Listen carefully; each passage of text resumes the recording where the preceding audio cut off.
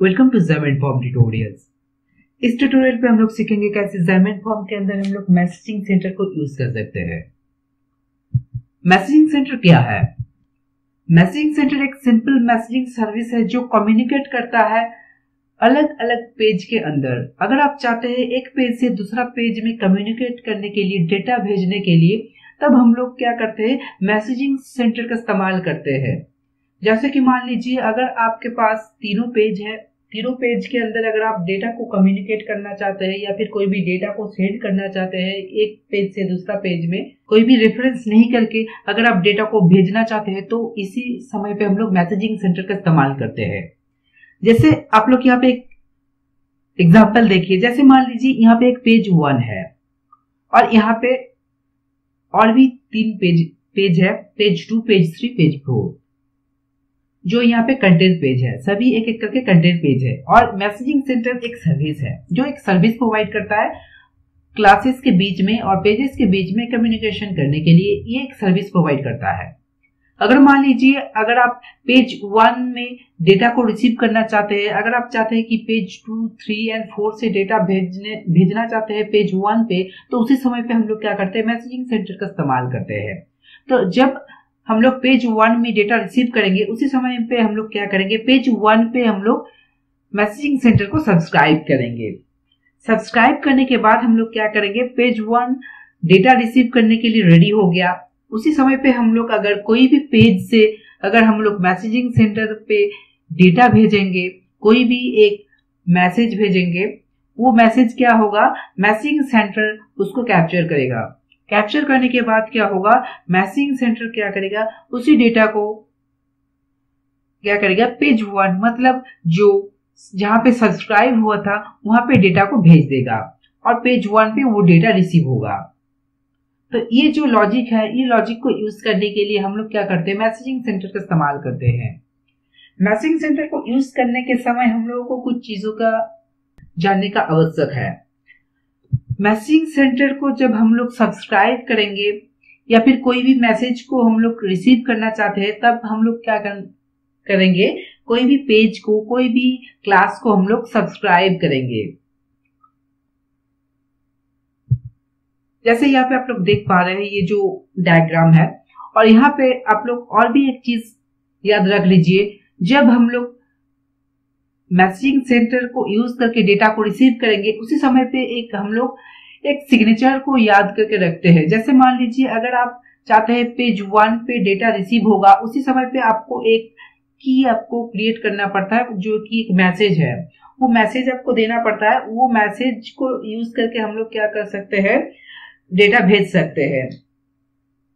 जब मैं एग्ज़ाम्पल दिखाऊँगा, तब आप लोगों को समझ में आ जाएगा। अगर लिसनर मतलब पेज वन, मैसेजिंग सेंटर को सब्सक्राइब नहीं करेगा। सब्सक्राइब नहीं करने के बाद भी अगर पेज टू, थ्री, फोर यहाँ पे हम लोग डेटा को सेंड करेंगे, तब क्या होगा? ये जो डेटा है, ये डेटा इग्नोर हो जाएगा मतलब रिसीव नहीं होगा। जब हम लोग सब्सक्राइब करेंगे मैसेजिंग सेंटर को, उसी समय पे हम लोग जो आर्गुमेंट को पास करेंगे, आर्गुमेंट को यूज़ करके मैसेजिंग सेंटर को क्रिएट करेंगे, उसी समय पे जो आर्गुमेंट को हम लोग पास करेंगे, उसी आर्गुमेंट को ही पास करना है सेंड करते समय। जब हम लोग मैसेजिंग सेंटर को यूज़ करेंगे यूज़ करने के बाद अगर हम लोग हम लोग का जो काम है, वो काम खत्म हो जाएगा, अगर डाटा रिसीव होना बंद हो जाएगा फिनिश हो जाएगा, उसी समय पे मैसेजिंग सेंटर को अनसब्सक्राइब करना ज़रूरी है। जैसे आप लोग यहाँ पे एक एग्ज़ाम्पल देखिए, जैसे मान लीजिए, ये मेरा एक कंटेंट पेज है। कंटेंट पेज के अंदर एक बटन है और नीचे में एक लेवल है। लेवल पे अभी कुछ भी नहीं है। इंटर नेम नाम का एक बटन है। यहाँ पे क्लिक करने के बाद एक पॉपअप ओपन होगा। पॉपअप के अंदर एक एंट्री रहेगा और एक सबमिट बटन रहेगा। जब यूज़र एंट्री के अंदर कोई भी डेटा को लिखेगा और सबमिट पे प्रेस करेगा सबमिट पे प्रेस करने के बाद क्या होगा? वही डेटा हम लोग क्या करेंगे? जो बैक पेज है मतलब जो कंटेंट पेज था प्रीवियस पेज था, उसी पेज में डेटा को हम लोग ट्रांसफ़र कर देंगे। जैसे आप लोग यहाँ पे देख पा रहे डेटा यहाँ पे ट्रांसफ़र हो गया है।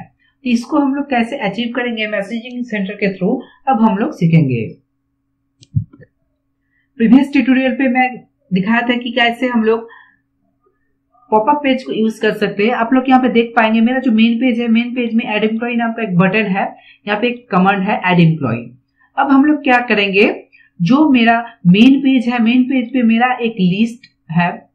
ये जो लिस्ट है लिस्ट में कुछ डेटा बाइंड किया हुआ है पहले से ही। आप लोग यहाँ पे व्यू मॉडल पे देख पा रहे हैं। और यहाँ पे मेन पेज पे क्लिक करने के बाद क्या होगा? ये एड एम्प्लॉय नाम का जो पॉपअप पेज है, ये पेज ओपन होगा। और यहाँ पे ये दोनों एंट्री रहेगा। नेम एंड एड्रेस एंड यहाँ पे एक सेव बटन है क्लोज बटन है। सेव बटन पे क्लिक करने के बाद क्या होगा? ये जो डेटा यूज़र ने एंट्री करेगा, उसी डेटा को हम लोग क्या करेंगे? मेन पेज में सेंड कर देंगे। मेन पेज का जो व्यू मॉडल है, इसके अंदर ये जो एम्प्लॉय लिस्ट है एम्प्लॉय लिस्ट के अंदर हम लोग ऐड कर देंगे। तो अगर हम लोग कोई भी पेज में डेटा भेजना चाहते हैं, तब अगर हम लोग क्या यूज़ करते हैं, हम लोग पैरामीटर के थ्रू डेटा को भेजना चाहते हैं। पर हम लोग मैसेजिंग सेंटर को इसलिए यूज़ करेंगे, अगर मान लीजिए अगर आप एक पेज से दूसरा पेज को ओपन किए हैं, अगर आप दूसरा पेज से बैक पेज में अगर आप डेटा ट्रांसफ़र करना चाहते हैं तो आपको मैसेजिंग सेंटर के थ्रू ही करना पड़ेगा और कोई भी प्रोसेस नहीं है। तो इसके लिए हम लोग क्या करेंगे? मैसेजिंग सेंटर को सब्सक्राइब करने के लिए हम लोग क्या करेंगे? मेरा जो यहाँ पे मेन पेज का एक्समेल पेज है, यहाँ पे एड एम्प्लॉय नाम का बटन है। बटन का यहाँ पे जो कमांड है, आप लोग यहाँ पे देख पा रहे हैं, मैं यहाँ पे पॉपअप ऐसे किया हूँ। एड एम्प्लॉय नाम का जो पॉपअप है, ये ओपन होगा। तो पहले ये ओपन होगा उसके बाद हम लोग क्या करेंगे? मैसेजिंग सेंटर को हम लोग सब्सक्राइब करेंगे। तो मैसेजिंग सेंटर को सब्सक्राइब करने के लिए हम लोग लिखेंगे मैसेजिंग सेंटर डॉट सब्सक्राइब उसके बाद हम लोग क्या करेंगे? यहाँ पे हम लोग एक क्लास को सब्सक्राइब करेंगे। क्लास को सब्सक्राइब करने के लिए हम लोग क्या करेंगे? बेसिकली हम लोग यहाँ पे एक, एक नीचे में मैं यहाँ पे एक क्लास बना लेता हूँ। डेटा नाम का एक क्लास बना लेता हूँ। यहाँ पे हम लोग क्या करेंगे? दोनों प्रॉपर्टी को यूज़ करेंगे। एक है नेम और एक एड्रेस और ये जो डेटा क्लास है, ये डेटा क्लास को हम लोग क्या करेंगे? सब्सक्राइब करेंगे। आप सब्सक्राइब किसी भी ऑब्जेक्ट को कर सकते हैं, चाहे कि वो कंटेंट पेज हो, कोई भी क्लास हो, कोई भी स्ट्रिंग या फिर कोई भी आइडेंटिफायर को आप लोग सब्सक्राइब कर सकते हैं। तो यहाँ पे मैं डेटा नाम का जो क्लास है, इसको मैं सब्सक्राइब किया हूँ। सब्सक्राइब करने के बाद हम लोग क्या करेंगे? पैरेंथेसिस ओपन करेंगे और यहाँ पे हम लोग क्या करेंगे? कौन सा जो पेज है, उसको हम लोग सब्सक्राइब करेंगे। यहाँ पे हम लोग क्या करेंगे? ये जो मेन पेज का व्यू मॉडल है, इसको हम लोग सब्सक्राइब करेंगे। तो यहाँ पे हम लोग लिखेंगे दिस उसके बाद क्या करना पड़ेगा? हम लोग एक मैसेज प्रोवाइड करेंगे। मैं स्लाइड में आप लोगों को दिखाया था कि हम लोग एक कम्युनिकेशन करने के लिए कम्युनिकेशन जब सब्सक्राइब एंड सेंड के बीच में जो कम्युनिकेशन होता है, उसके लिए जो सिग्नेचर है सिग्नेचर हम लोग क्या करते हैं? ये मैसेज को हम लोग देते हैं। जैसे मान लीजिए यहाँ पे हम लोग एक नाम दे दिए हैं रिसीव डेटा जब हम लोग सेंड करेंगे, ये ये सिग्नेचर को ही हम लोग यूज़ करके हम लोग सेंड कर पाएँगे। तभी क्या होगा? यहाँ पे डेटा रिसीव होगा। तो यहाँ पे मैं यहाँ पे नाम दे दिया रिसीव डेटा और यहाँ पे हम लोग क्या करेंगे, और एक कॉल बैक फ़ंक्शन को क्रिएट करेंगे, जो क्या होगा, एक एक्शन होगा। तो आप लोग यहाँ पे देख पा रहे हैं, मैं यहाँ पे एक कॉल बैक फ़ंक्शन को क्रिएट करूँगा।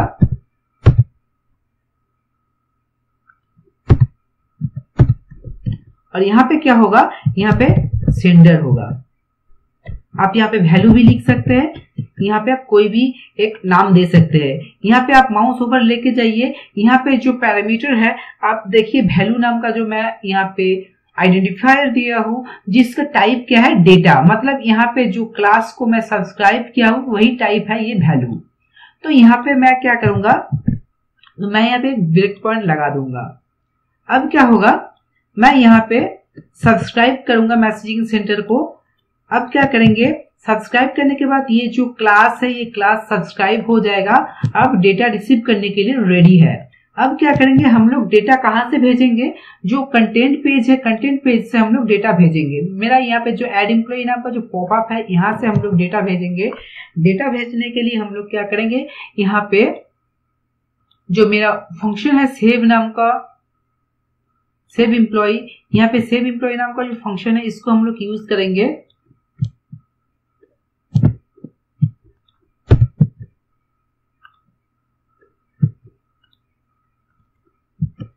सेव एम्प्लॉय में हम लोग क्या करेंगे? डेटा को हम लोग ट्रांसफ़र करेंगे। तो हम लोग क्या करेंगे? पहले हम लोग डेटा को ट्रांसफ़र करेंगे, उसके बाद क्या करेंगे? डेटा जब ट्रांसफ़र हो जाएगा ट्रांसफ़र होने के बाद ये पॉपअप को क्लोज कर देंगे।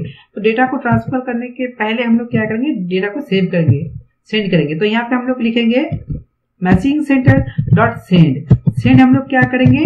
डेटा नाम का जो क्लास था, उसको ही हम लोग सेंड करेंगे। और यहाँ पे हम लोग क्या करेंगे? डेटा को सेंड करेंगे।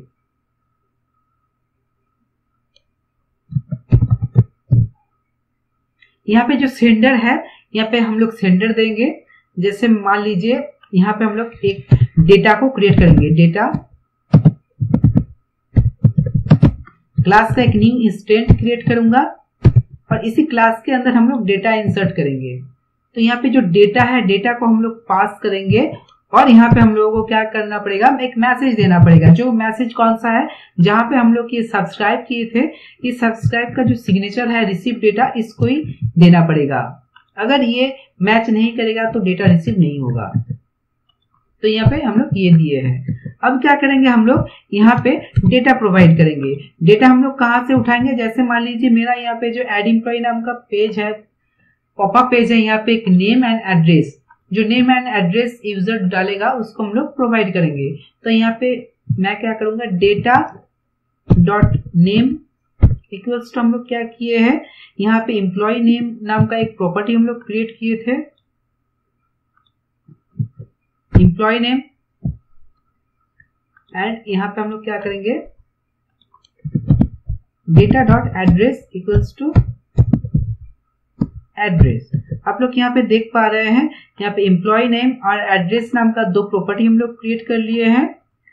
ये जो प्रॉपर्टी है, यहाँ पे बाइंड हुआ है। मेरा जो कंटेंट पेज है, मेरा जो पॉपअप पेज है, यहाँ पे आप लोग देख पा रहे हैं, मेरा जो एंट्री है, यहाँ पे ये टेक्स्ट के अंदर ये एम्प्लॉय नेम बाइंड हुआ है एड्रेस बाइंड हुआ है और ये मोड है टू वे मतलब यहाँ पे हम लोग सोर्स पे डेस्टिनेशन डेस्टिनेशन पे सोर्स पे हम लोग डेटा को भेज सकते हैं।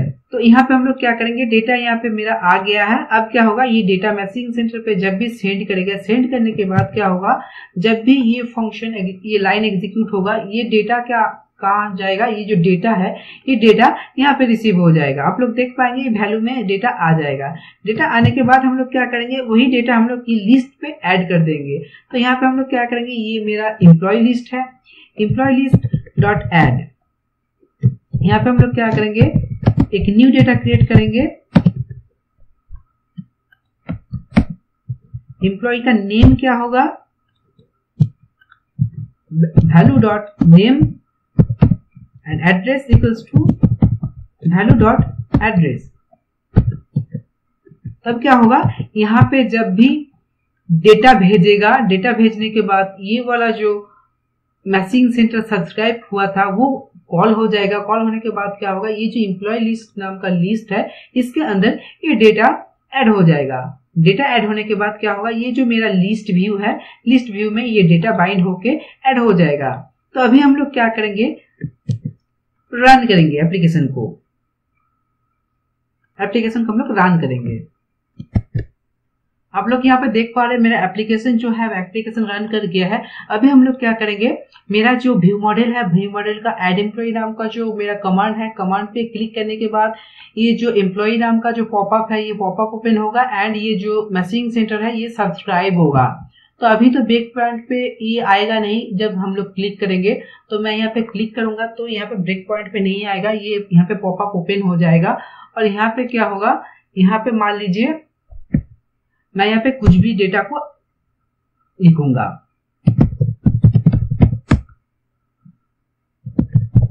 सैंपल एड्रेस अभी देखिए, मैं क्या करूँगा, मेरा जो व्यू मॉडल है व्यू मॉडल में मैं यहाँ पे जो मेरा सेव इम्प्लॉय नाम का बटन है पॉपअप के अंदर, यहाँ पे हम लोग क्या किए हैं, यहाँ पे मैसेजिंग सेंटर को यूज़ करके सेट किए तो मैं यहाँ पे ब्रेक पॉइंट लगा दिया हूँ, और यहाँ पे सेव पे क्लिक करूँगा। सेव पे क्लिक करने के बाद आप लोग देख पाएँगे। यहाँ पे ब्रेक पॉइंट पे आ गया है। तो आप लोग यहाँ पे देख पाएँगे मैसेजिंग सेंटर पे मैं और एक ब्रेक पॉइंट लगाऊँगा कंटिन्यू करूँगा। तो आप लोग देख पाएँगे मेरा यहाँ पे डेटा आ गया है।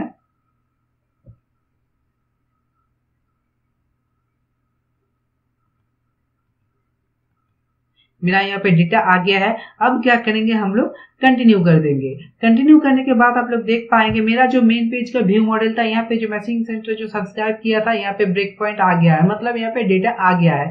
अब अभी आप लोग यहाँ पे देखिए वैल्यू पे माउस ओवर कीजिए, आप लोग देख पाएँगे, ये डेटा यहाँ पे आ गया है। मतलब डेटा यहाँ पे रिसीव हो गया है। अब क्या होगा? डेटा जब रिसीव होगा रिसीव होने के बाद क्या होगा? यहाँ पे आप लोग देख पाएँगे बैक बैकग्राउंड जो पेज है पेज में मैं ये लिस्ट में डेटा को ऐड कर लिया हूँ। तो आप लोग देखिए, मैं जब कंटिन्यू पे क्लिक करूँगा कंटिन्यू पे क्लिक करने के बाद ये जो डेटा है, ये डेटा ऐड हो गया है।